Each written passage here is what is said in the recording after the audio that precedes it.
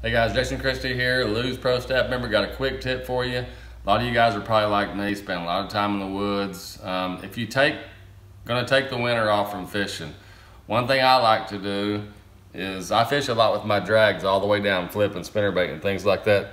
Is I like to back the drag off if I won't, if I'm not gonna fish for three, four, five months. Just keeps everything in there the way it's supposed to be. Um, one thing also is whenever I do that, I'll put a rubber band or something on there, and that just reminds me the next time I go fishing that it's that it's loose because I've, I've done it. Go out there and make a cast, forgot that I loosened up. It just keeps everything fresh.